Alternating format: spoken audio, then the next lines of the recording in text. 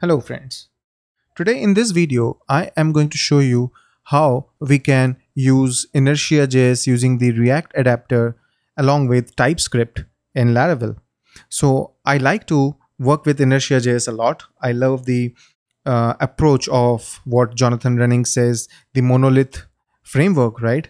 And uh, for a long time, I have been using the JavaScript syntax for building React based inertia applications, but some I always wanted to work with TypeScript. And this tweet, you know, helped me, this article basically helped me understand how to set up TypeScript in my inertia application. And due to that, I decided why don't we create a video out of it. Although this has a beautiful article which guides you step by step, but for the visual learners, I think this video will help. So let's get started. I'll create a new Laravel application. So I'm going to use the composer create project Laravel slash Laravel syntax and I will create that.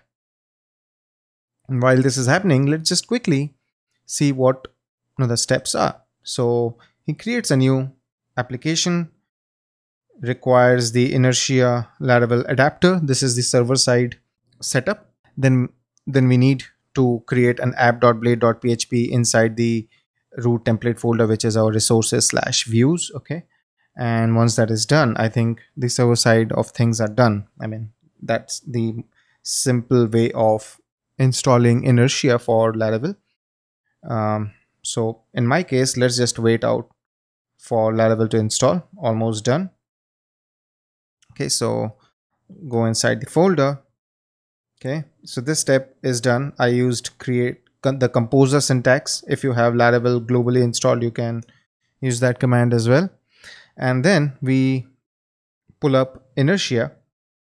And while this is happening why don't we create this blade file as well? So i'll open up the code in visual studio code.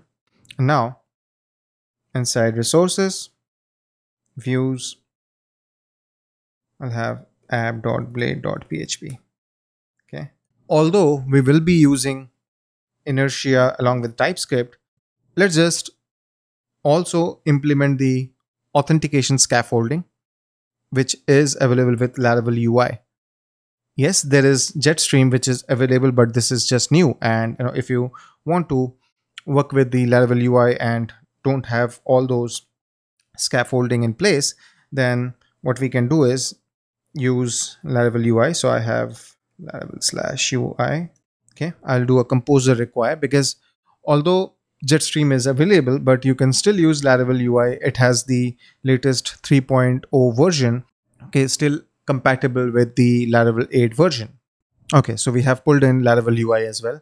And one more reason to use Laravel UI instead of Jetstream is that as of now, Jetstream only has the Vue version or Vue, uh, yeah, Vue version of inertia and not a react version so um, you know, that was one reason i haven't created or started any project with that. I'm waiting for the react adapter for the community to bring in.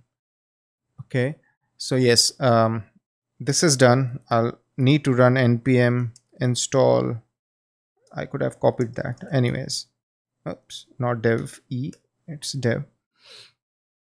So yeah what is going to happen is while this is installing I can serve the application open up right? And we see this two packages uh, sorry those two links which redirect the user to the login form and the registration. However you can see things are broken. There's no css loading to properly render the form because we need to generate the final build files. And that's something which we will do. While this is installing, let's just move ahead with our setup. Okay, so we have done this. We need to do this for sure. So what I will try to do is, okay, this is almost done. So let's just wait and I'll keep my npm run watch over here and let's generate a URL for us php artisan make controller test controller and we'll open up web.php.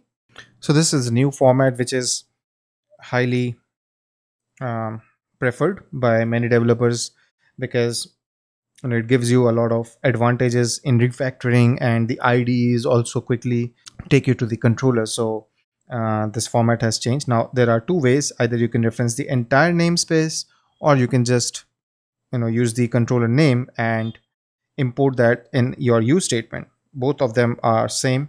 So let's go to our controller index method is ready and return inertia render.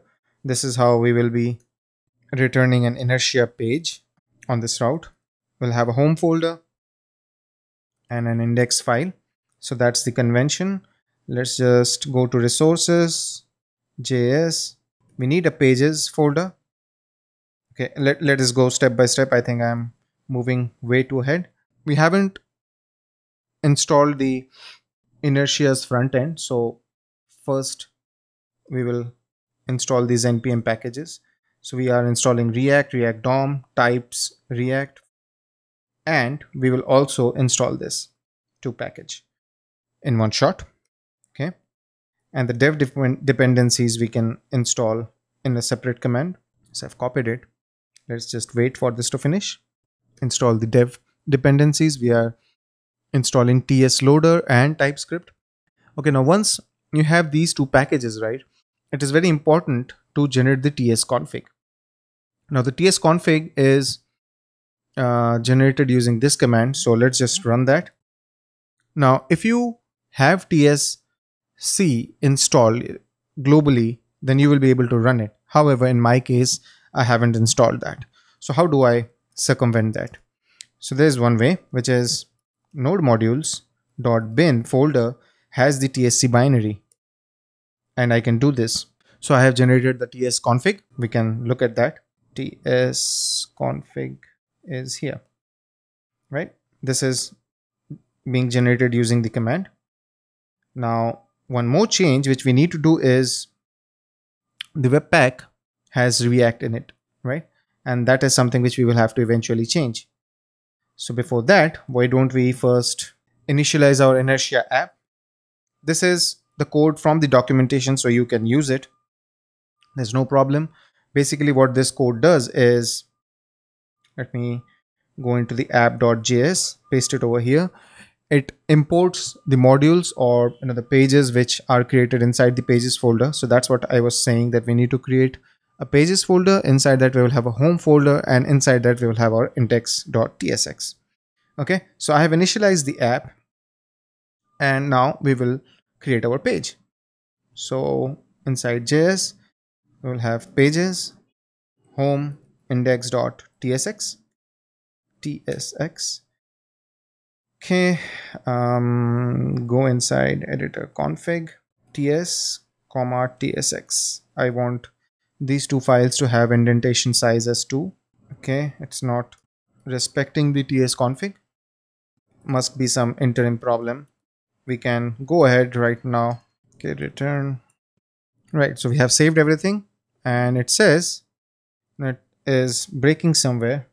It is not able to still load the file.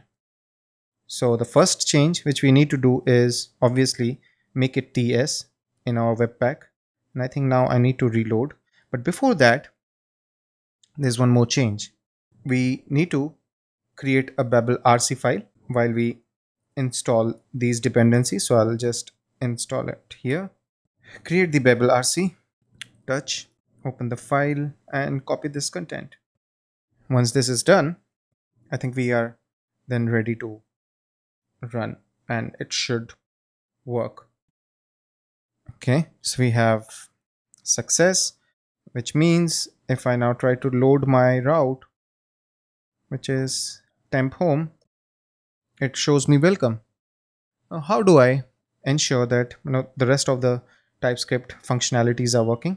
For example you know if i have an interface am i able to you know properly define the interface for a prop? So let's just say i have a inside my components folder i have common layouts or rather layout and then index.tsx okay this is my layout which every component will extend so that i get a common html markup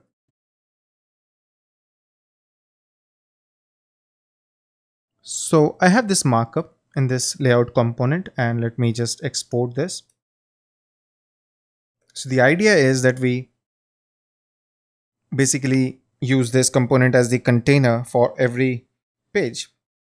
Now, what I want to do is in this component, send props, which should have, which can have title as a, uh, how do you say, optional attribute.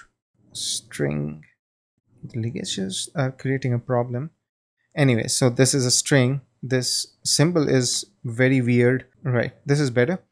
So so I've changed the font and basically what I'm saying is the title is optional, hence the question mark and the type is string. Now once we do this, need to define the component type. So we will do react.fc okay and we pass the props. So I can do props in here and then I'll destructure certain variables from the props what is the first thing? It's the title and the children. Okay? And quickly let's just have a conditional block over here. If I have the title then I render the title over here. Right, and similarly in here now obviously I will have the children. Otherwise what's what's the use of the layout? So there's no condition here in this particular block. Okay and in home now I can take this out have layout push this in from the home. And because we can pass a title welcome to my home page. Now if I refresh we are able to get that. So so TypeScript is installed because you know this is way we typically will implement TypeScript. We have defined the you know props. The type is laid out here. So you know this basically ensures that you know the, the type hints are working properly. The data what is being expected is defined. And we were able to render everything in here. So if we quickly recap right what have we done? We have installed laravel. We installed the laravel ui we created a scaffolding with auth using the ui react adapter or the React preset. Okay, I, I think it's called preset, not an adapter. So we did that. Then we installed inertia, okay, which allows us to you know create this kind of inertia response, right? We created our blade file, which returns you know the, this this thing, this blade directive, basically ensures that we return inertia components as you know uh, from the page directory now our page directory has TSX files. So the app.js where it you know initializes the inertia.js uh, inertia app reads any component inside the pages directory as you know inertia uh, a pages which inertia can render. Now because these pages are TSX, we had to do certain kinds of configuration. We installed the at the rate types react. You can see in the package uh, .json we have a few entries. For example you know we have where is my dependencies? We have inertia.js which is obviously the adapter for inertia. We have types react which are the uh, you know typescript definitions for react.js we installed ts and ts loader because these are how you tell webpack that you know how to compile a typescript file then we created two files, two very important files. One is the ts config, okay, and the second one is babel rc. With these things in place, I think we are left with only one small tweak, which is mix react should change to mix.ts, and then we are ready to go.